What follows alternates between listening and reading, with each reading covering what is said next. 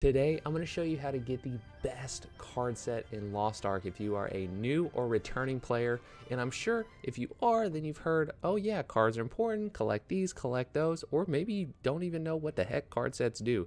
So today, I'm going to kind of go into that just a bit and tell you why this one is so hype. And it came with the Witcher event, which is a really cool event all in of itself but I'm going to be mainly talking about the importance of this card set and how easy it is to get and how much it can benefit you right now until you get some of the later in-game card sets like the Lostwind Cliff set or the of Salvation set. So let's go ahead and get into it. How do you even start getting these cards? Well, I'm going to show you. So you can go to any major city and you are going to notice that there's a little pink exclamation mark um, somewhere in one of the cities and the mission is going to say event mysterious whirlpool. So let's go ahead and investigate. And after talking to this person, we are going to go to the White Wolf's Haven, which is going to be in Vern, or just outside of Vern. So let's go ahead and sail to the White Wolf's Haven. Once you're here, you're going to follow a very simple, simple quest line. Once you get here, you will notice that this quest, it actually is like a looping quest. There's multiple steps to it, which is why there's like this loop here. And this there is the. Thank you, Geralt. This is the first quest that you will start to gather those cards. And it's one out of five. And you can do one of these per day. So as you can see, yes, let's eat. All right, let's go. Let's do it. So you can see that this first part of the quest, the Festival Cooking Panic, you get that Geralt card, baby. That's the first card. And you get some, you know, stickers and stuff, but we're just here for the cards. Except, thank you very much. And now we are here at the end of this quest. Give me those rewards. Boom. Okay. So we got Geralt of Rivia. Yes, I want to register it, which that brings me to another point is if you only have a couple cards to register or it says your card deck is full, then you'll just go to your card catalog here. You'll go over to enhance Scroll all the way down. Oh, geez. Scroll down until you have expand catalog slots and you have to click on it and they cost blue crystals yes but it's worth it. So expand it boom. Um, I know I'm gonna need some anyways because this card set is five cards and we added it already. But now what you're going to do is come back to this island once per day and do another quest that is continuing from this quest line. Because as you can see there is no other quest on this island yet but tomorrow there will be another quest. So that is how you complete this card set. It's very easy. There's no investment time really. Just a really I don't even think a couple of hours total to get all of this done. So it's extremely good and I'm about to tell you why. Traditionally, at the beginning of your journey, you are going to be trying to get the field boss set here, which gives you HP, which is a very good bonus, right? Having extra hit points is always good, but it doesn't really do anything for you offensively. Doesn't give you any shields, anything like that. Now, what this Witcher set does is once you get the five card sets and you, of course, you activate them in your card set um, menu, then what you're going to get is you're going to get max HP plus 2%, max HP plus 3%, and then you are going to get the chance every 20 seconds to proc one of these three abilities. You're going to be able to have extra attack and move speed for 8%. Uh, for 8 seconds, you're going to get attack power plus 6% for 8 seconds, which is almost half of a level 3 Cursed Doll engraving, which is fantastic.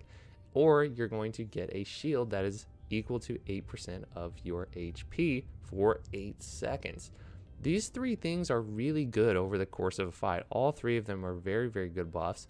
And the coolest thing about this is that it says the cooldown is 20 seconds, but that doesn't happen after this buff has ended. This cooldown timer starts as soon as it procs. For example, if you hit the boss and this procs, this Yrden or Igni or Quen, let's just let's just do this. Let's put a timer on it, right? I'm gonna hit him. It procced Igni. 6% attack power. That's huge, by the way. Now all I have to do is wait until 20 seconds again and it's going to proc. That's the coolest thing about this. So your downtime for this buff is only 12 seconds. So basically half of the fight, you are going to have one of these three buffs active, which is freaking sick. So see, I'm gonna hit it, boom, it's back up. You're now I get attack move speed. And 8%, that's a whole yearning set buff, which is a support buff, which you might not even know about yet. But that's huge. That's a that's a lot of attack and move speed, especially for some classes. They feel really good with that.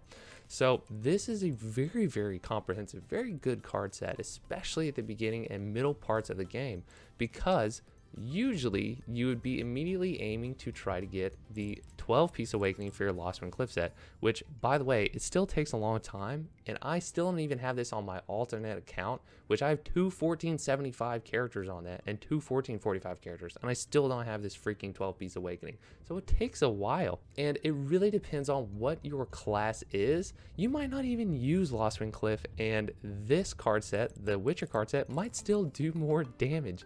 Uh, in fact, my time to hunt Gunslinger actually did more damage with the Witcher set than it did with the Lostwind Cliff set because it doesn't rely on that crit rate. I already have a plenty of crit built into the class already, so it didn't really help me out. So this would actually be more beneficial and it would only take five days to get and five little missions. Okay, it's super, super simple.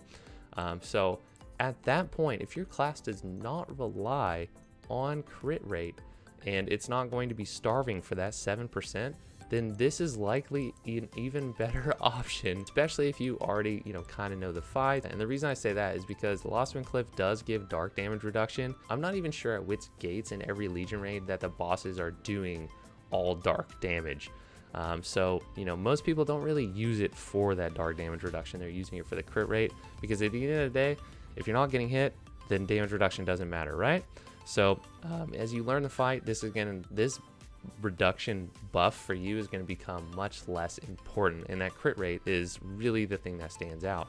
But again, if your class doesn't need and isn't starving for that 7%, then this card set is likely going to be just fine and it's going to be 100% acceptable. So that is why this card set can be so powerful. It can totally eradicate the need for this Lostwind Cliff set. So go out, get it. Please, I want to make this public service announcement so you do not miss this chance because it is a limited time. This event is not going to be here forever, so make sure and capitalize. Get this freaking card set. You will not regret it. If you learned something in this video, go ahead and hit that like button. It's free and it really helps me out.